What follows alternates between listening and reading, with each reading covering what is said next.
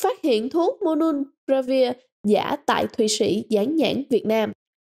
Cục Quản lý Dược Bộ Y tế Việt Nam hôm thứ Năm đã đưa ra cảnh báo liên quan đến thuốc kháng virus Monopiravir giả được tìm thấy ở Thụy Sĩ, trên nhãn ghi thuốc được sản xuất tại Việt Nam.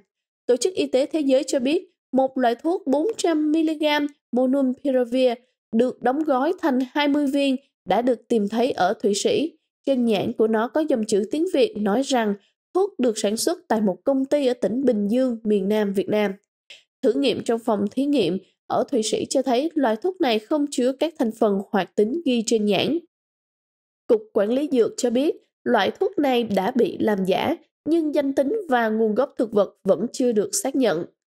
Monopiravir là thuốc kháng virus COVID-19 được Việt Nam và một số quốc gia khác sử dụng để điều trị các trường hợp nhiễm COVID-19 và không có triệu chứng.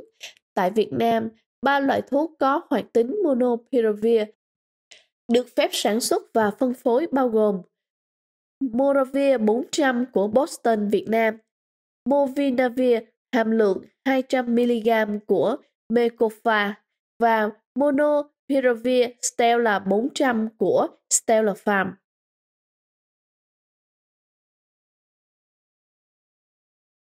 Ngôi sao nhạc pop Việt Nam bị phạt 3.000 bị kim vì MV có nội dung tự sát. Ca sĩ Sơn Tùng, MTP, một trong những ngôi sao nhạc pop lớn nhất Việt Nam, hiện nay đang phải đối mặt với khoản tiền phạt 70 triệu đồng, tức là khoảng 3.050 bị Kim, trong khi MV, tức là video âm nhạc, mang tên There's No One At All của anh đã bị xóa vĩnh viễn vì mô tả nội dung gây tranh cãi, bạo lực và tự tử. Đây là sản phẩm âm nhạc tiếng Anh đầu tiên của Sơn Tùng MTP. Theo một quan chức của Bộ Văn hóa, Thể thao và Du lịch cho biết, MV của nam ca sĩ đã có những hình ảnh, động tác, phương tiện biểu đạt hình thức biểu diễn tác động tiêu cực đến đạo đức, sức khỏe cộng đồng và tâm lý xã hội. Ngoài việc bị phạt 70 triệu đồng, cơ quan chức năng yêu cầu công ty của Sơn Tùng, MTP, tiêu hủy bản ghi hình There's No One At All, tháo gỡ bản ghi hình MV dưới hình thức điện tử trên môi trường mạng và kỹ thuật số. Sơn Tùng MTP sinh năm 1994, tên thật là Nguyễn Thanh Tùng, nam ca sĩ đến từ Thái Bình, từng lọt vào top 30 Under 30 năm 2018 của Forbes Việt Nam. Cập nhật nhanh về tình hình COVID-19 tại Việt Nam. Vào ngày 6 tháng 5, Việt Nam có 3.819 ca COVID-19 mới. Trong ngày có 1.817 ca khỏi bệnh và 6 ca tử vong.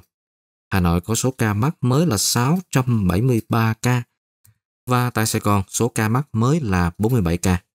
Các địa phương khác có số ca mắc mới cao là Phú Thọ 292 ca, Vĩnh Phúc 203 ca, Bắc Ninh 174 ca, Tuyên Quang 163 ca, Nghệ An có 145 ca, Quảng Bình 129 ca, Quảng Ninh 123 ca, Bắc Giang có 122 ca.